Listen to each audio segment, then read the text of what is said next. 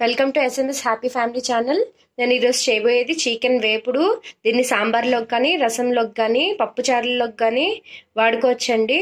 పప్పులోకి కూడా వాడుకోవచ్చు. నాకు కావాల్సిన ఇంగ్రీడియంట్స్ హాఫ్ కిలో చికెన్ ఉల్లిపాయలు దంచి పెట్టుకున్న అల్లం వెల్లుల్లి పేస్ట్ కాస్త కరివేపాకు అండ్ గరం మసాలా. చికెన్ని పొయ్యి మీద పెట్టి ఆ నీరు మొత్తం బయటికి పోయేదాకా ఉడికించుకోవాలండి. మూత వేసి సిమ్లో పెట్టుకుని ఉడికించుకోండి. వాటర్ బయటికి వస్తున్నాయి కదండి అలా మొత్తం వాటర్ ఇంకేదాకా ఉడకపెట్టి పెట్టుకోవాలి. సేపు మూత వేసి ఉడికించుకోండి. చూడండి ముక్కల్లో వాటర్ బాగా ఇంకిపోయినాయి అండి ఇలా ఒక పానం పెట్టి ఆయిల్ పోసి ఆయిల్ బాగా వేడెక్కనివ్వండి. ఆయిల్ బాగా వేడెక్కిన తర్వాత కరివేపాకు ఆయిల్ బాగా వేడెక్కిన తర్వాత ఉల్లిపాయ ముక్కలు కూడా వేసేసి బాగా వేగనివ్వండి. ఇలా ఉల్లిపాయ ముక్కలు బాగా దగ్గర పడేదాకా వేయించుకున్న తర్వాత తొక్కు పెట్టుకున్న అల్లాన్ని వెల్లుల్ని కూడా వేసేసుకోండి. ఇలా కాసేపు నూనెలో ఇంకొంచెం సేపు మగ్గనివ్వండి పచ్చి వాసన పోయేదాకా. ఇప్పుడు అల్లం వెల్లుల్లి పేస్ట్ కూడా బాగా మగ్గిన తర్వాత ఈ ఉడకపెట్టుకున్న చికెన్ ముక్కలను కూడా వేసేసుకోండి.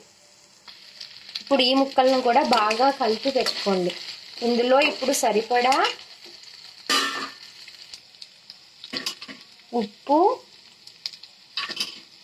సరిపడా కారం కూడా వేసుకుని బాగా తిప్పి పెట్టుకోండి.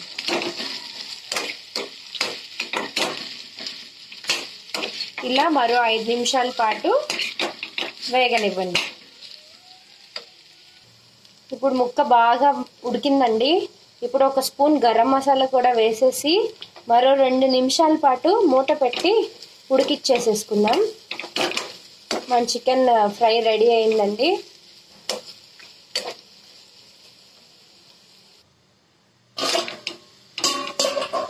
ఎంతో టేస్టీ ఫ్రై రెడీ అయిపోయిందండి. మీరు కూడా ట్రై చేయండి. చేసి కమెంట్ కూడా చేయండి. ఎంతో టేస్టీ చికెన్ ఫ్రై రెడీ అయిపోయింది. మీకు ఈ వీడియో నచ్చినట్టయితే లైక్ షేర్ అండ్ సబ్స్క్రైబ్.